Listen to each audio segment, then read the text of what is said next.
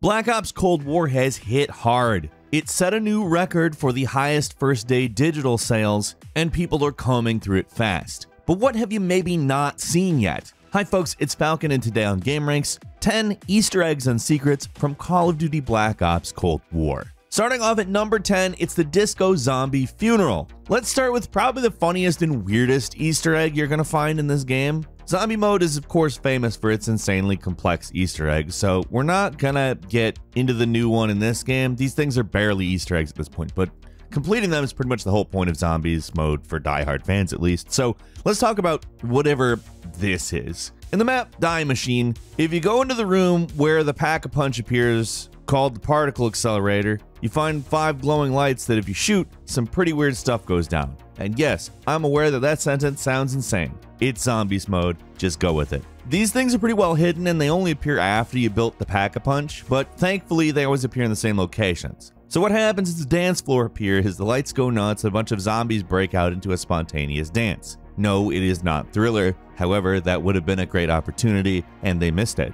The centerpiece of the whole thing is these zombies dancing while hauling around a crate. I mean, it's bizarre. I, I, I don't know. You might recognize these moves as being similar to the internet Ghana dancing pallbearers, which do pretty much exactly what you're seeing. Why they're referencing this on the zombies map? I don't know. I'd have gone with Thriller, like I said, obviously. Doesn't mean I'd hate the Ghana pallbearer guys. That's fun too. I mean, the whole thing's pretty funny, but the best part is after the little dance is over, they just leave behind the crate that's filled with salvage, like a free Juggernog perk that makes so you can take more hits and sometimes even a wonder weapon, which is not bad. It's a lot of nice stuff that helps you survive longer in zombies for not a lot of work, and yeah, everything that happens during the course of this. And number nine is the secret grenade launcher. And I feel like we're going to say this a lot, but this is another weird one. In the campaign mission, Red Light, Green Light, you infiltrate a secret Soviet facility where they're conducting, like, I guess, fire drills in a simulated American town. I doubt the presence of the Burger Town restaurant is lost on anyone. Uh, the section in Modern Warfare 2 where you fight off a Russian invasion in the United States on the roof of a burger town is actually one of the most memorable moments from that game but it is more than just a callback. Near the drive through you can find the Burger Town boy, and he's got a button on him. Press it, and he'll make a snide comment about how fat Americans are, and. Would you like extra cholesterol with that? Not just the one thing. He's also got a lot of other lines for whatever reason. Like, I guess the Russian city builders went above and beyond on this little guy. Press the button enough, and I'm just going to say it, there's no explaining it. An M79 grenade launcher comes out of his rear end. It only has four shots in it, so its utility is a bit limited, but a grenade launcher is a grenade launcher. What else is there to say? Number 8, a surprise guest. The first thing that happens in the KGB mission is you're called up to meet the council, with Gorbachev at the head of the table. But there's another guy beside him that might look a little familiar if you have played Modern Warfare Zakhaev. Yeah, the bad guy from Call of Duty Modern Warfare, the original one. Another game in which a rogue Russian spy tries to nuke the world. The fact that he's in this game is pretty wild, as the Modern Warfare series and the Black Ops series of Call of Duty were always assumed to be in different universes, but this seems to imply that they are the same universe. Or at least that they're in universes that are closer to each other than originally thought. There's actually another pretty important dude here, too, Kravchenko, one of the targets Mason was supposed to assassinate in the original Black Ops, and didn't actually get around to it until Black Ops 2. The past events of Black Ops 2, not the future parts, take place later in the 80s, so his appearance here still makes sense. With Zakhaev, though, it's probably just meant to be a callback to a well known character, not something we should take super seriously, but it's a surprise either way. And even better, you can choke him out in the elevator if you really want. At number 7, the 80s arcade, which, after sneaking into the secret Soviet training ground, the first thing you see in the mission, Red Light, Green Light, is this fully decked out 80s arcade. You might just walk right through it to your objective, but if you stop and look around for a second, uh, you'll find a lot of the games are actually playable. Remember, this stuff is set in the early 80s, so it's pretty primitive, but there's noteworthy stuff from Activision's back catalog, like Pitfall, River Raid, Grand Prix, and Fishing Derby. like a competitive fishing game. I'm gonna be honest, I've played all the others, but I've never played Fishing Derby. Also, I'm old. This isn't the only place you can find an arcade in the campaign. You'll find one in the safe house along with a computer that has its own selection of old games to play, but the fake 80s arcade in this mission is the most fully featured. At first, it seems like the guy with you, Woods, is going to tell you to hurry up, like what you would usually get when you stop and look around in any Call of Duty campaign, but he'll start to do stuff like make fun of you for playing poorly or say that there's no future in this video game stuff.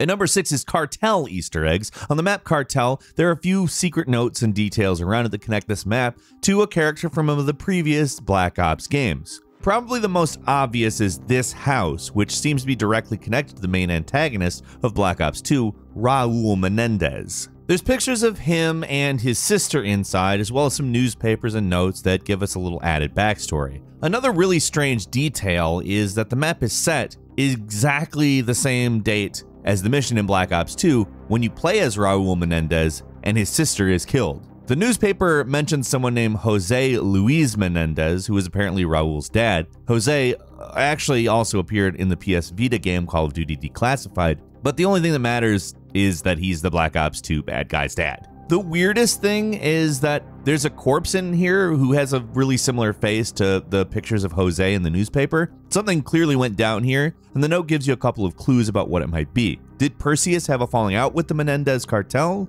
Is there some connection with Iran Contra going on here? Um, I don't know, but if you're big on Black Ops, it's interesting. At number five is Nuketown references on the map Cartel. There is actually another Easter egg, one referencing maybe the most famous Black Ops map, Nuketown. You can find a photo showing a familiar house near the main hangar in the map. This was the first Nuketown reference players found. There's actually a second one in the multiplayer map Satellite. There's even some coordinates on a point being located in Nevada, which lines up being the possible original Nuketown map remade. Of course, now we know that's exactly what it is. The roadmap revealed before Cold War's release shows that they're adding the map Nuketown 84 to the game, which looks like a total remake of the original. Nice. At number four is the numbers, Mason. There's a pretty big callback hidden in the campaign mission, Echoes of a Cold War, and it's not particularly subtle, as the entire mission is basically one big callback to a mission from the first game, but it's interesting nonetheless. In this mission, Mason and Woods return to Yamantau, the Soviet Area 51 that was attacked near the end of the first Black Ops. In it, you can find a locker that needs a key. Inside is a unique weapon called the Redeemer and a picture. If you play the original Black Ops, you might recognize the guy in the picture, that is Steiner, the Nazi scientist and creator of Nova 6, who Mason is brainwashed into killing. To add to that, you even get a little flash of the numbers that would appear when the mind control stuff was going on.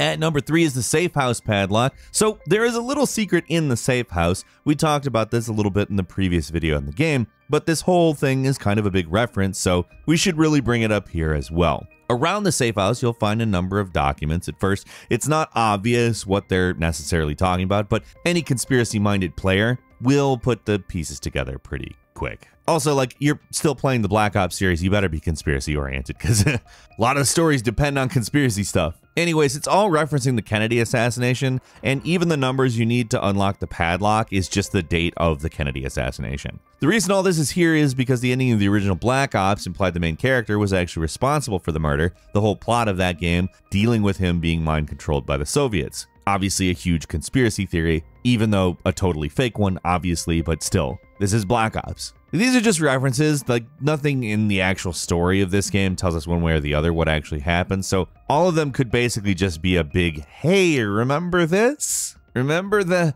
Mason baby killed Kennedy? Remember that?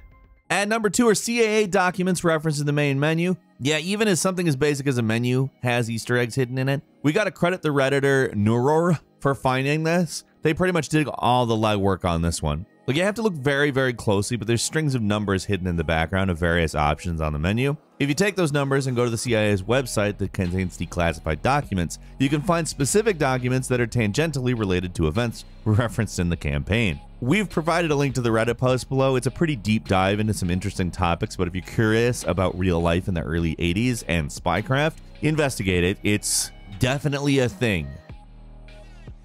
And finally, at number one, the Looping Mind Hallway. All right, this is a bit of a stretch. Don't tell me I am the only one who thought this, though. I swear to God, there's no chance. Near the end of the game, Adler shoots you up with some psychedelic drug, and you find yourself in a trippy scenario where you're not really sure what's going on. Like these dream sequences has become a little bit of a staple of the Black Ops game, and this one does not disappoint. After a while, you find yourself in a constantly looping infinite hallway, and it feels like right out of PT, the infamous Silent Hills demo that was removed from the PlayStation Store. I mean, obviously, PT didn't invent the horror trope of the looping hallway, but the way that the hallway is built and presented gives me serious PT vibes. And check out this section where you see Adler in the distance, but his head is shaking rapidly. Like, that's something right out of Jacob's Ladder, a movie that has been cited as a huge influence on the Silent Hill series. What we're seeing in Cold War and what happens in Jacob's Ladder are not actually that far off. In the movie, we follow a Vietnam veteran who's dealing with bizarre hallucinations,